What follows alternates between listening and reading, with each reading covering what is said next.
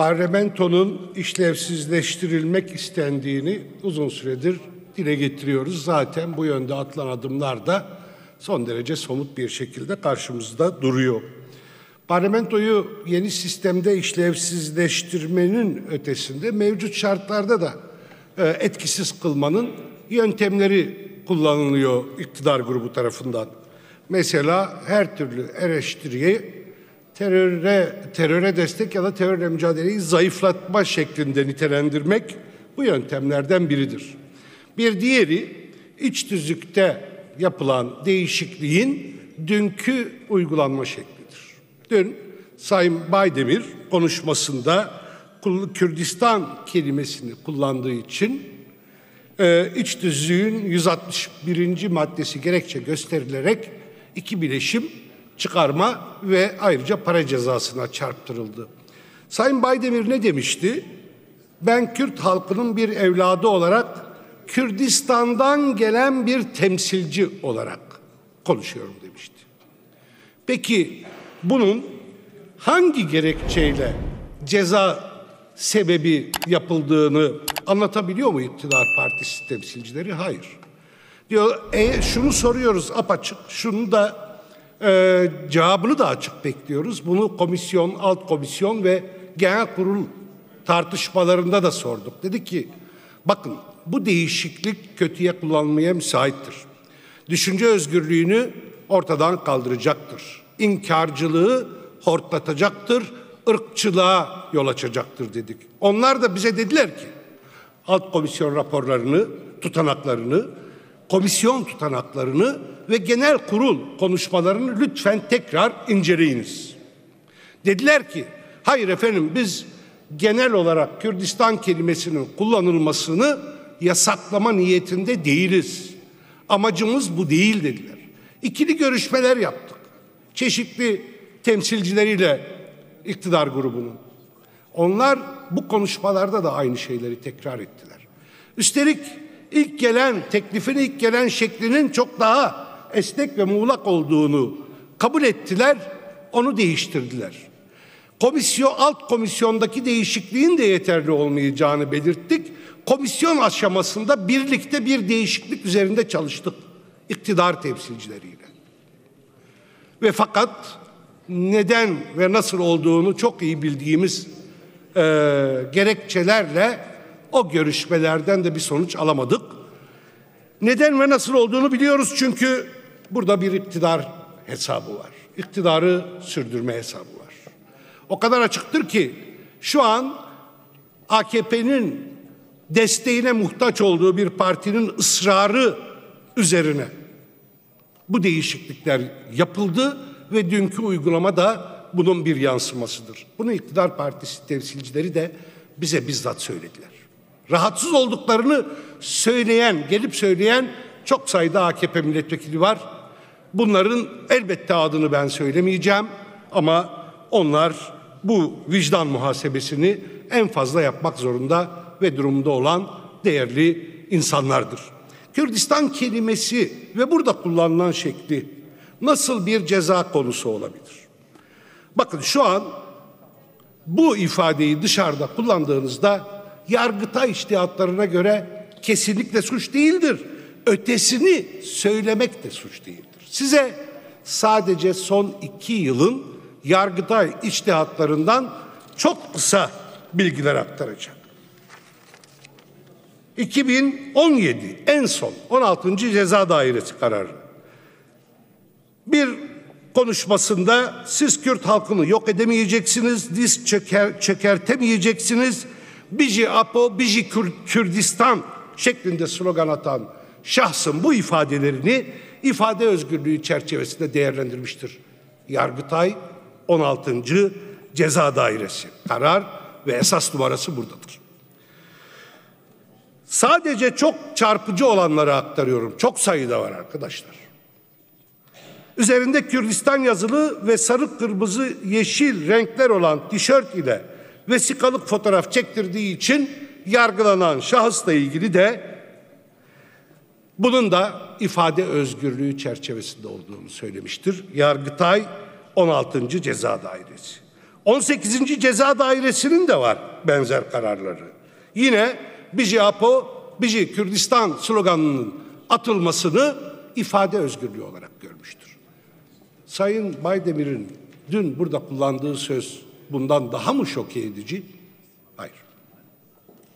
Demek ki genel kurul dün Türkiye hukukuna göre Yargıtay'ın içtihatlarına yeni birkaç ay önceki içtihadına göre asla suç kabul edilmeyen bir fiilden dolayı tamamen özgürlük kürsüsü olması gereken bu platformda ben Kürdistan'dan gelen bir temsilciyim sözünü kullandığı için milletvekilini cezalandırmıştır. Vahimdir, ayıptır, günahtır. Devam edelim. Kürdistan neresi diye sordu Sayın Başkan Vekili. Bunu bize sormayın. Tamam, bize sorabilirsiniz. Biz de size tarihi kaynaklarla, coğrafi kaynaklarla, siyasi kaynaklarla cevap veririz ama bana göre siz Sayın Erdoğan'a sorun. Sayın Erdoğan'a 1991 Kürt raporunu hatırlatarak sorun. Ne demek istemiş? Bakın bugün Doğu ve Güneydoğu sorunu olarak adlandırılan sorun aslında bir Kürt sorunudur diyor. Sorun gerçekte ulusal bir sorundur.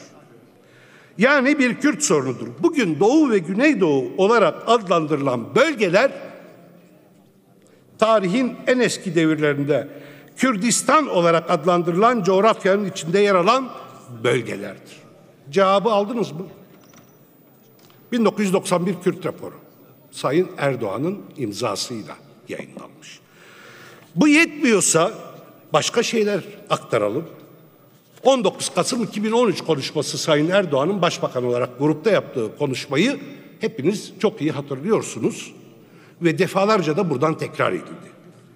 Bu millet köksüz değildir diye başlıyor Sayın Erdoğan.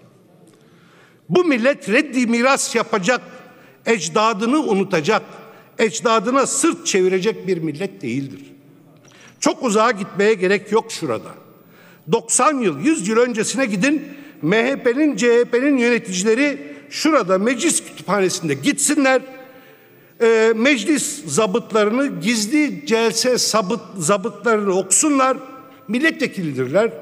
Okuma hakları var, gitsinler okusunlar. Bugün MHP ve CHP neye karşı çıkıyorsa orada ilk meclis zabıtlarında e, ilk meclis zabıtlarında o karşı çıktıkları şeyleri göreceklerdir. Hem de en başta Gazi Mustafa, Mustafa Kemal'in nutuklarında göreceklerdir. Kürt kelimesini bu mecliste göreceklerdir. Gürcü, Laz, Arap, Boşnak kelimelerini o zabıtlarda görecekler.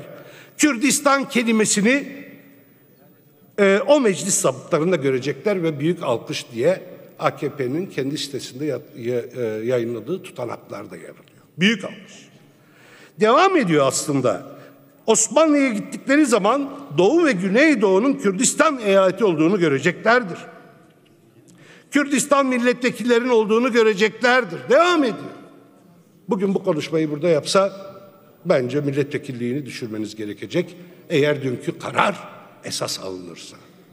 Değerli arkadaşlar, dönemsel ihtiyaçlara ve iktidar hesaplarına bakarak bu tür uygulamalara gitmenin bu ülkede hiç kimseye faydası olmadığını tarih çok açık gösteriyor. En açık kavradığı anlar da AKP'nin işte bakın bu anlardır. Şimdi neden bundan vazgeçiyorsunuz? Neden? İktidar hesabı için. Dün dündür, bugün bugündür mü diyeceksiniz. Deyin, söyleyin. Söyledik, inkar ediyoruz arkadaş deyin. Yine komisyon toplantılarında apaçık belirttik size, burada da anlattık. Değerli arkadaşlar, büyük vahim bir yanlış yapıyorsunuz. Özgürlükleri ve demokratik siyaseti ortadan kaldırırsanız bu ülkede acıyı büyütürsünüz. Yapmanız gereken şey özgürlükleri ve demokratik siyaseti alabildiğine genişletmektir. Burada hekim milletvekilleri vardır. Yanlış bir teşbihte bulunursam lütfen onlar bağışlasınlar en başta. Özgürlükler ve demokratik siyaset şu diz kapağındaki kıkırdak doku gibidir. Var olduğu sürece ne işe yaradığını fark etmeyiz. Özgürlükleri iyice kıstığınızda, Demokratik siyaseti devre dışı bıraktığınızda şu kıkırdak dokuyu iki dizin arasından çıkarırsınız. Kemiklerin birbirine sürtünmesine yol açarsınız. Kemiklerin birbirine sürtünmesinin ağrıların en vahimi olduğunu sanırım bu işin uzmanları teyit edeceklerdir. HDP'yi ve özgürlükleri böyle terörize etmeye kalkmakla, sindirmeye çalışmakla yaptığınız şey nihayetinde bu kıkırdak dokuyu kurutmaktır.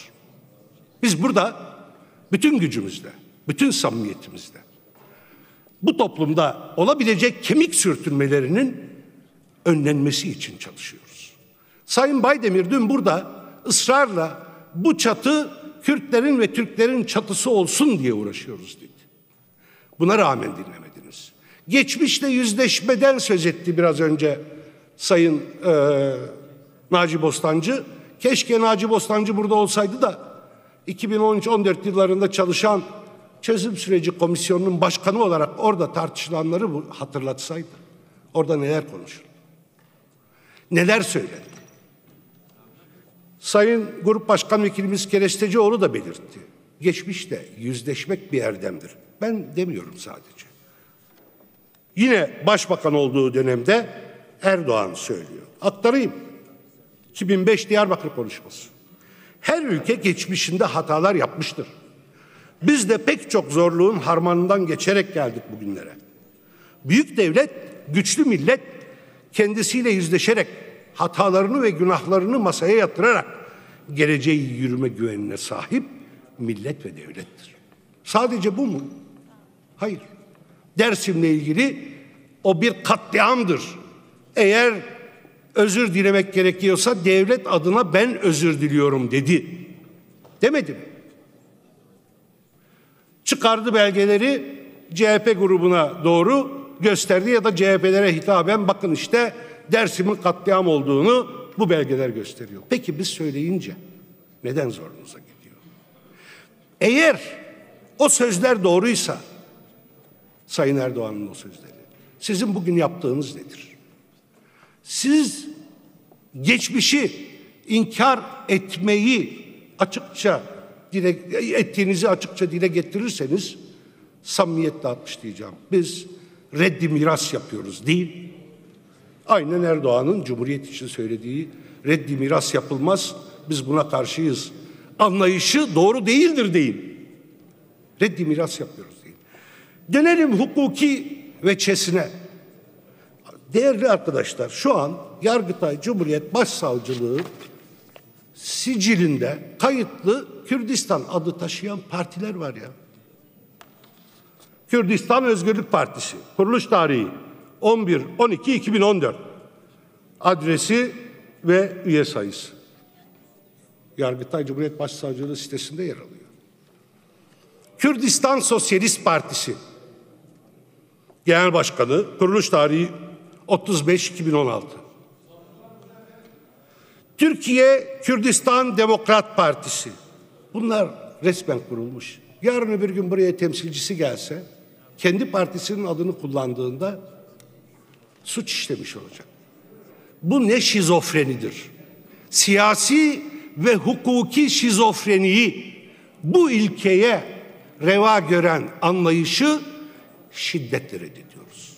Bu ülkeye siyasi ve hukuki şizofreni yaratmak sadece acıları büyütmek, sorunları çözümsüzlüğe mahkum etmek anlamına gelecektir. Milli Savunma Bakanlığı bütçesine gelince çok kısa bir şey söyleyeceğim. Evet bu bir savaş bütçesidir. Doğrudur. Barış dönemi bütçesi böyle olmadı. Sayın Bakan burada. Çok kısa rakamların ayrıntısına girmeyeceğim. Ee, süre bitiyor. 2013 ve 2014 yılları Türkiye'de çözüm süreci yürütüldüğü dönem. Bu iki dönemin bütçesiyle 2017 bütçesi arasında Milli Savunma Bakanlığı için yapılan artış yüzde yirmi değil, yüzde kırk değil, yüzde elli değil arkadaşlar. Yüzde yüzdür. Eğer kendi içinizde bu kadar ağır tahribatları olmuş bir sorunu. 10 yıllardır yaşanan Sözlerinizi tamamlayın lütfen. Bir dakika ekstra veriyorum. Buyurun Sayın barışçıl, Sancar. teşekkürler Sayın Başkanım. Bu çatışmaları barışçıl yollarla çözmeyi denerseniz Milli Savunma Bakanlığı'na değil, sağlığa, eğitime, kadının e, haklarını geliştirmeye, çocuklara bütçe ayırırsınız. Şimdi çıkıp büyük ihtimalle iktidar sözcüleri yine terör, destek falan diyecekler. Değil arkadaşlar. Değil. Dünyada bu sorunu görüşerek, diyalogla çözmeye çalışan sayısız ülke örneği vardır. Ben çözüm sürecinde akil insanlar heyeti üyesi olarak daha önce de söyledim. Hükümete, dönemin iki başbakanına bu konuda raporlar sundum. Hem temsil ettiğim grup adına hem şahsım adına. Bu tecrübelerin ne kadar değerli olduğunu orada gördük. Şimdi yapmamız gereken şey derhal barış ortamı yaratmaktır. Saygılarımla efendim. Teşekkür ederim Sayın Sancar.